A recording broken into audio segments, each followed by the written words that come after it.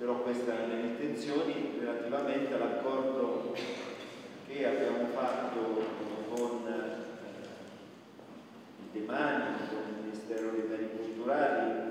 per acquisire quest'area. Era una fantasia e quello che diciamo ai giovani, ai cittadini di Castiglione del Lago, che quest'area può diventare, io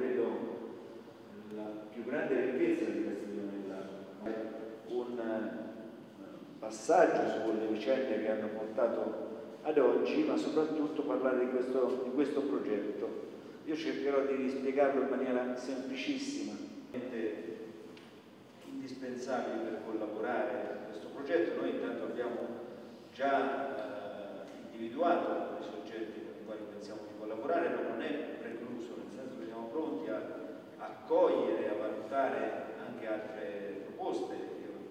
eh, qui cito quelle con le quali su quello che noi immaginiamo, immaginiamo qui dentro, quindi c'è una mia superficie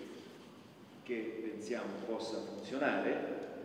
eh, e che il volo da c'è appunto la storia del volo, la storia dell'aeroporto, c'è eh, quello che è nato come acquario che noi nel progetto stiamo eh,